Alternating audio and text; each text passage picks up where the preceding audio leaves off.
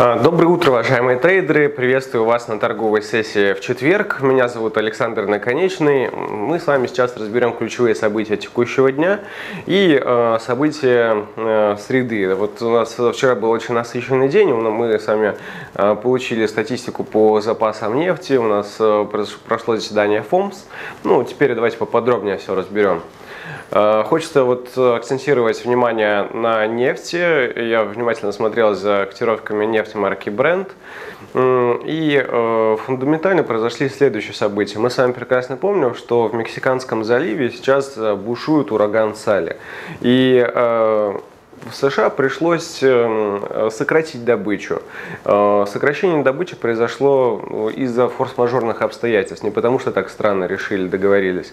Нет, из-за урагана. И сокращение добычи в Мексиканском заливе оно прошло более чем на 20%. Это существенное сокращение.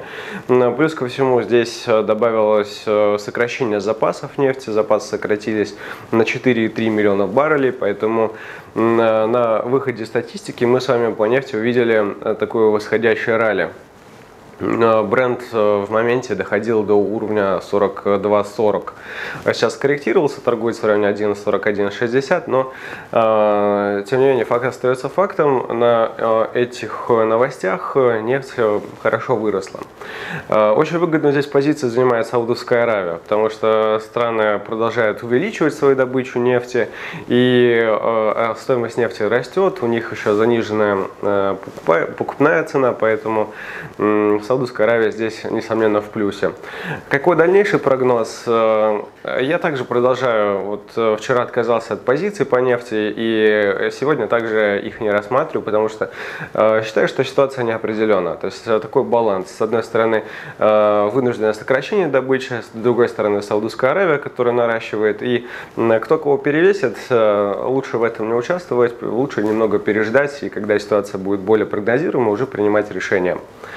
Э, вчера было заседание ФОМС э, в 21.00 по Москве. В целом, э, опять каких-то ключевых вот заявлений, которые поспособствовали бы э, изменению курса, э, на мой взгляд, не было. Почему? Потому что, ну, в первую очередь, заявление по инфляции. Да, мы с вами это прекрасно знаем, что инфляция сейчас на уровне 2%. Опять э, было заявление, что плюс-минус 2% может повышаться, может понижаться. Мы за этим особо следить не будем.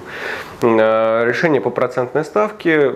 Процентная ставка осталась неизменной. Я вчера даже об этом не говорил, потому что это была ну, настолько очевидная новость, что процентную ставку до 2020 2023 года она так и будет находиться в районе нуля. Это, это заявление ФОМС было. И э, поэтому в целом вот э, каких-то какой-то важности эта новость не несет. Также э, было, был прогноз по развитию экономики, да, вот э, развитие, как будет динамично увеличиваться ВВП. Э, ВВП будет ну, по прогнозам, по, по предыдущим прогнозам не будет идти, оно будет идти ниже, и э, за счет этого, это как раз сказывается за счет коронавируса. Да, вот э, сейчас развитие экономики США будет напрямую зависеть от коронавируса. Э, ситуация мы с вами сейчас знаем какая, количество заболевших опять увеличивается, уже начинается вторая или третья волна, но вот, э, вакцину говорят, что появится во втором полугодии 2021 года, да, хотя мы ждали ее в октябре. Ну, посмотрим. Э, как только появится вакцина, в целом это позитивная новость для экономики США, потому что э, это сейчас действительно ключевой момент. Э, отсюда и вытекает новый пакет поддержки экономики, да, о котором в целом пока никакой информации также и нет. Вот, это ключевые, наверное, события, которые были на заседании ФОМС. А, на этом фоне доллар укрепился, ну, мы с вами это уже знаем. А, также вот ключевые события сегодняшнего дня, в первую очередь 12.00 по Москве, это выход инфляции. В еврозоне прогноз назначения 0,2%. На мой взгляд, оно никак не изменится и также останется на уровне 0,2%. Новость важная, но очень прогнозируемо. Скорее всего, ничего не поменяется. А, в 14.00 решение по процентной ставке Великобритании. Также новость очень прогнозируемая. А, скорее всего, процентная ставка с очень высокой долей вероятности останется на прежнем уровне. Там будет параллельно а, заявление по монетарной политике, а также на на, на прежних уровнях очень маловероятно, что что-то изменится. В 15.30 число новых заявок на получение пособий по безработице в США. Ну, учитывая, что коронавирус прогрессирует, скорее всего, число заявок будет расти.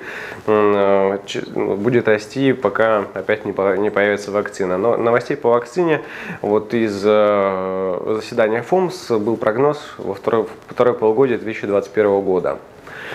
А, вот это такие ключевые фундаментальные события. Если смотреть на рынок э, с точки зрения технического анализа, то э, евро-доллар сейчас находится на отметке 1.1760. Мы с вами прогнозировали на, на отметке 1.19, 1.1950. Поэтому э, также каких-то глобальных решений сейчас, думаю, принимать не стоит. Я также рас, рассматриваю позиции на покупку. Э, цена сейчас находится около достаточно сильного уровня, да, 1.1770.